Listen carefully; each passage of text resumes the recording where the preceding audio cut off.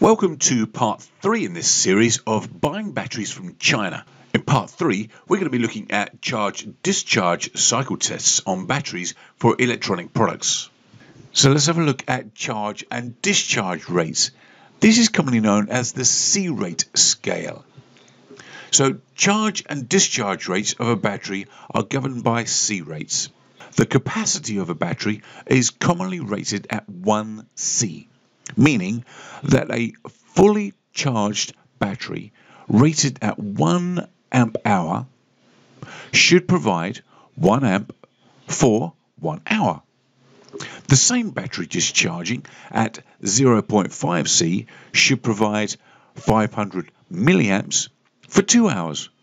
And at 2C, it delivers 2 amps for 30 minutes. Losses at fast discharges reduce the discharge time, and these losses also affect charge times. We can see the C rate and the charge times on the right hand side here in this table. So what C rate should be used? Different C rates for different battery types.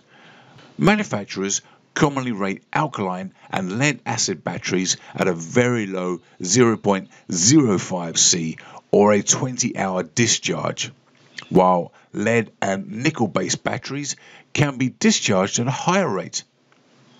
The protection circuit prevents the lithium ion energy cell from discharging above 1C. Power cell with nickel, manganese and or phosphate active material can tolerate discharge rates up to 10C and the current threshold is set higher accordingly. So during inspection, it is important to follow the guidelines and use the correct C rate scale for the relevant battery being tested. So don't forget to check out part one and part two in this series if you haven't watched it already, and our other videos on this channel. And don't forget you can contact us anytime you need any help at all in China. Also, don't forget to like this video, share it, and make sure you subscribe to our channel. Oh, and see the little bell? Don't forget to hit that because that'll be a notification every time we upload some new content.